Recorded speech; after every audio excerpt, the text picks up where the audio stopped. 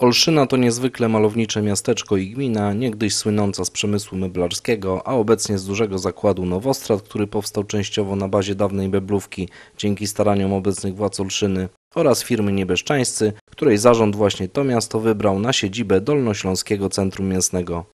W ostatnich latach aż trzy razy Olszynę nawiedzały ogromne powodzie, jednak zarówno mieszkańcy, jak i samorządowcy z burmistrzem Leszkiem Leśko na czele nie dali za wygraną i wspólnymi siłami odbudowują swoją małą ojczyznę. Realizowaliśmy bardzo wiele inwestycji y, w tej mijającej kadencji, co było spowodowane między innymi tymi tragediami, y, które dotknęły naszych mieszkańców, naszych tutaj y, obywateli, jeżeli chodzi o powodzie. Powódź, jaka miała miejsce w 2010, następnie w 2012 roku i 2013 roku spowodowała bardzo wiele zniszczeń. Wiele budynków mieszkalnych, wiele lokali mieszkalnych zostało po prostu zatopionych. Robiliśmy wszystko, ażeby tym mieszkańcom ulżyć w tej tragedii i sądzę, a oczywiście ocena należy do tych, którzy tą pomoc otrzymywali, że zrobiliśmy wszystko i stanęliśmy na wysokości zadania. W ostatnim okresie po powodzi z 2013 roku wydatkowaliśmy na zasiłki do 6 tysięcy i na zasiłki do 20 i 100 tysięcy złotych dla tych powodzian z terenu gminy Olszyna kwotę ponad 10 milionów 660 tysięcy złotych. A więc sprawa, e, określając to e, finansowo, naprawdę e, taka, która wspomogła bezpośrednio tych naszych mieszkańców, tych naszych obywateli, tych wszystkich, którzy tej pomocy potrzebowali. W latach 2011-2014 samorząd Olszyny pozyskał i przeznaczył na inwestycje kwotę ponad 46 milionów złotych. W międzyczasie realizowaliśmy inwestycje infrastrukturalne, takie jak budowa dróg, jak budowa mostów zniszczonych po powodziach, jak remonty obiektów użyteczności publicznej i w sumie te inwestycje przekroczyły kwotę 46 milionów złotych w tej kadencji. Budżet gminy, każdorazowo przyjmowany na początku roku budżetowego, kształtował się w granicach 18 milionów złotych. Wykonanie zadań inwestycyjnych przy dofinansowaniu z budżetu państwa kwoty ponad 30 milionów złotych na inwestycje. Ze środków y, unijnych Urząd Marszałkowski ponad 4 y, miliony złotych.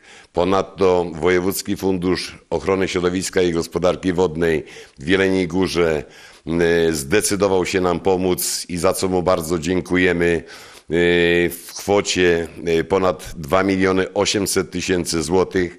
To były pieniądze znaczone i te pieniądze były wykorzystane na wywożenie nieczystości, które, y, y, które po prostu y, wynikały z tych zniszczeń i z tej jednej, drugiej i trzeciej powodzi. Jednym z największych i najbardziej potrzebnych mieszkańcom obiektów, którego nie oszczędzały powodzie, było miejscowe gimnazjum. Zostało ono wyremontowane, Młodzież uczy się w bardzo dobrych warunkach. Y, nauczyciele mają również bardzo dobre warunki do pracy, jak i również pracownicy obsługi. Na terenie gminy cały czas realizowane są duże inwestycje infrastrukturalne. Sukcesywnie powstają tak bardzo potrzebne mieszkańcom nowe zakłady pracy, a gmina pięknie jest dnia na dzień. Realizujemy w chwili obecnej naprawę parkingu y, w centrum Olszyny. Remontujemy odcinek drogi i wykonujemy parking y, przy szkole podstawowej nr 3 i drogi y, do Gminnego Ośrodka Zdrowia. Od podstaw praktycznie budowany jest odcinek drogi ulica Marchlewskiego.